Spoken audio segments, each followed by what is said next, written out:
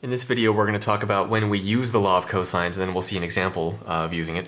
So in the previous video, we uh, explained the formulas and where they come from, um, and now we're going to briefly explain when we use this law of cosines. So it's used for the same reason that the law of sines is used.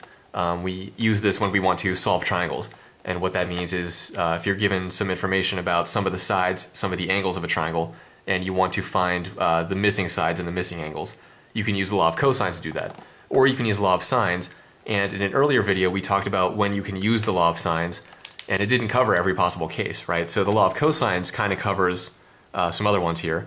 So for the law of cosines, if you're given all three sides of a triangle and no angles, so that would be S, S, S, side, side, side. If you're given all three sides, you can use the law of cosines. Notice uh, the law of sines will not work because for the law of sines, you need at least one angle, right? But for the law of cosines, uh, you really don't.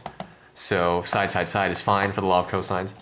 Um, another case, uh, by the way, even though I drew this acute triangle, um, whether the triangle is acute, uh, obtuse, or right, um, then as long as you have all three sides, you can use the law of cosines.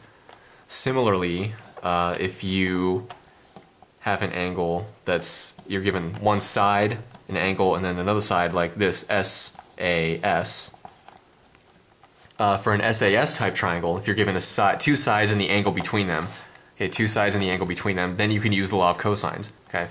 But you cannot use uh, the law of sines, okay? Because the law of sines requires that you um, at least know, you know, a side and the opposite angle. But here we don't know anything about opposites. We know this side, uh, we don't know the opposite angle. We know this side, not the opposite angle. We know this angle, we don't know the opposite side. So the law of sines will not work, but the law of cosines will. Now, um, and by the way, uh, it will work for obtuse triangles or acute triangles or right triangles as long as you have SAS. Okay. Um, okay. Now the third case, uh, which I don't recommend using law of cosines for, is actually SSA. Um, technically speaking, you can use this. Remember, this is the troublemaker case for uh, the law of sines because it has the uh, it could lead to the ambiguous case. So SSA would be like here, uh, side side and then this angle here. So if you're given two sides and uh, one of the angles that's not between the two sides, okay, so either this angle or this angle uh, here, that would be the SSA case. And you could use it for the law of cosines, but uh, or you can use the law of cosines for that, but I don't recommend it because the algebra gets kind of messy, kind of complicated. Um, it basically boils down to solving a quadratic equation, um, which you don't really want to do that with cosines flying around all over the place. Um, and uh, it, you still have the ambiguous case. Okay, so there's still the ambiguity. Um, so it's best just to stick with the law of sines for this and leave the ambiguity over there because what's nice about the law of cosines is there's no ambiguous case for this, no ambiguous case for this. So for SSS and SAS, uh, or just stick with the law of cosines for these, and for SSA, just stick with the law of sines. Although technically speaking, you can use the law of cosines for SSA, but I definitely don't recommend it. Okay. Law of cosines, uh, example one. Oops.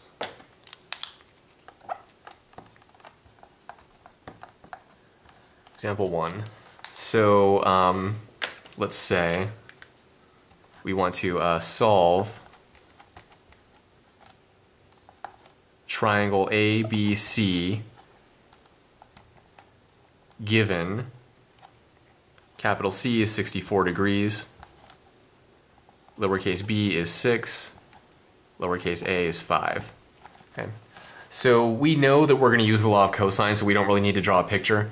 But um, one thing that might be helpful in general, which we haven't actually talked about before with the previous similar problems uh, for the law of sines, is just make a rough sketch in the beginning. So uh, if you don't know whether you're supposed to use the law of sines or the law of cosines, just make a quick sketch to see what type of triangle you have. So if we didn't know we were supposed to use the law of cosines, it's kind of hard to tell just from looking at what we're given.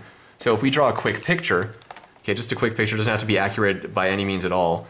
So we could just say A, B, C, this is 64 degrees, this side is little b, which is 6, this side is little a, which is 5, this side is little c. So what we have is side, angle, side. So this is an SAS triangle. So that would tell us, okay, use the law of cosines, right? So just um, want to point that out there. Now we didn't have to do that here because we know we're supposed to use the law of cosines because that's what we're talking about. But anyway, um, just make a rough sketch in the beginning if you're not sure which one to use, and then based on the type of triangle, based on the information you're given, uh, then you can determine do I use law of cosines or law of sines. So anyway, continuing with this, uh, now what we're going to do is find little c. So I guess maybe we should have kept the picture up, but we don't really need the picture. Okay, so remember there are three equations for the law of cosines, and the only one that's going to work for us now in this first step is c squared equals a squared plus b squared minus 2ab cosine of c. Okay, and the reason this is the only one that's going to work is because uh, the other two involve cosine of b and cosine of a, but we don't have angle b or angle a. But we do have angle c, we have little a, we have little b, there's little a again, little b again, and we need to find little c um, eventually. So we can use this one first. Let's go ahead and do that. So c squared equals, uh, little a is 5, so this is 5 squared. Little b is 6, so this is 6 squared. Minus 2 times 5 times 6 times the cosine of uh, angle C, which is cosine of 64 degrees. Okay.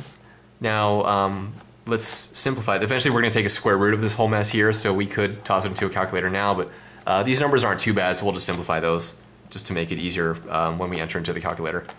5 squared is 25. 6 squared is 36. 2 times 5 is 10. 10 times 6 is 60. Cosine of 64 degrees is still there. Uh, 25 plus 36 is 61. So we have 61 minus 60 cosine of 64 degrees. Okay, now we take the square root of both sides. And normally when we do this, we have a positive and a negative root, but since C is the length of a side of a triangle, C cannot be negative. So C is only going to be the positive root. So that's why we're ignoring the negative root here, because it just wouldn't make sense because we're talking about the length of a side of a triangle. Okay, now we uh, pull out our calculators. And um, so let's zoom in over here. Make sure that we're in the degree mode, okay, DEG, deg for degree, because we're taking the cosine of 64 degrees. So now what we're going to do is square root of 61 minus 60 times the cosine of 64. And that's approximately, uh, let's round out to four decimals, 5.8905-ish.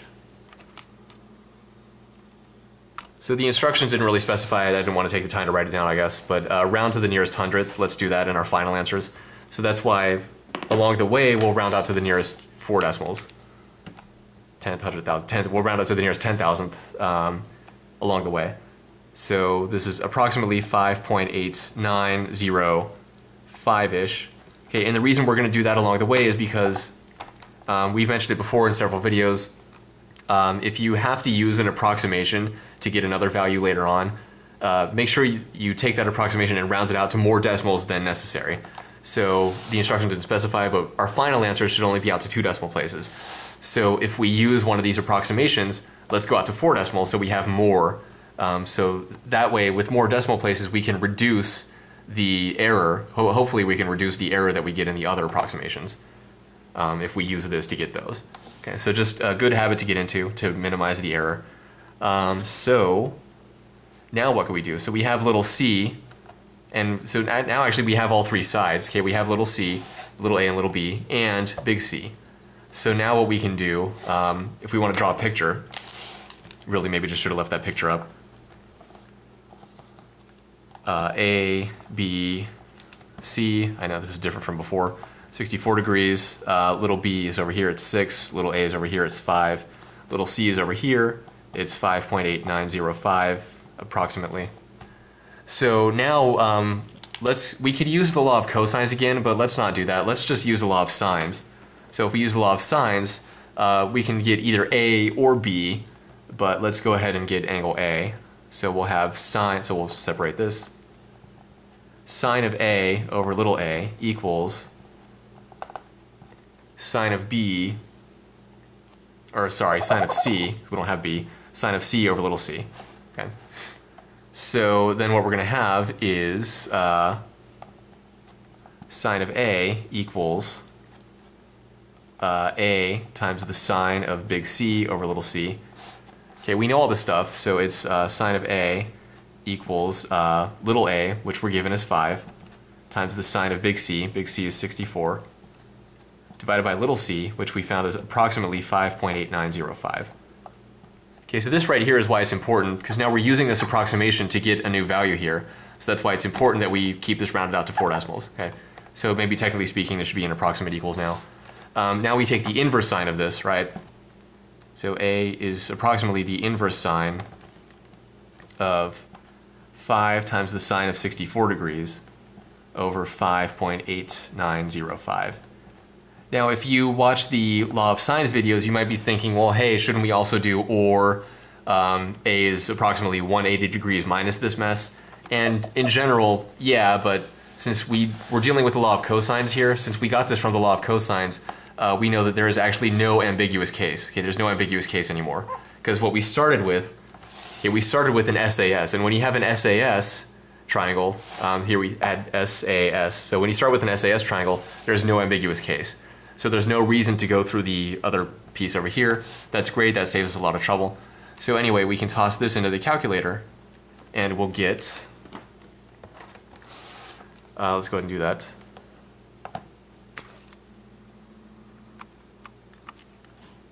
So that's going to be uh, inverse sine of 5 times the sine of 64 degrees. Oops, sine, not natural log. 5 times the sine of 64 degrees uh, divided by 5.8905. Yikes. Okay. And that gets us approximately, so make sure we're in degree mode also, um, and that gets us about 49.7221-ish degrees. So A is about 49.7221-ish degrees. Oops, okay, so then we have that there. Now, um, before we move on, so that's this right here, so 49.7221-ish degrees approximately. The only thing left to find now is angle B, which is really simple. Um, we could do the law of sines again, or we could use the law of cosines, or we could just use the fact that we have these two angles and they're in a triangle. But before we do that, I want to point out um, we could have used the law of cosines since now we have little c. We could have used the law of cosines to find angle A, and we could have said, um, okay, a squared equals b squared plus c squared minus 2bc cosine of a. We could have used this and it absolutely would have worked. It would have been fine. Uh, there's no real reason not to, other than the fact that the algebra gets a little messier. Okay, so here we'd have we'd have to subtract b squared, subtract c squared from both sides, um, then divide both sides by negative 2bc. Then we'd have to take the inverse cosine of that entire mess, and we would get the same exact thing if everything worked out okay. Okay. But here, the algebra is just simpler over here. And since we're dealing, since we started with SAS, we don't have to worry about the ambiguous case. So that's why in this case, it's nicer just to use the law of uh, sines. Okay. But anyway, um, now to find the third angle. And let, us not do the law of sines again. Let's just say uh, A plus B plus C is 180 degrees.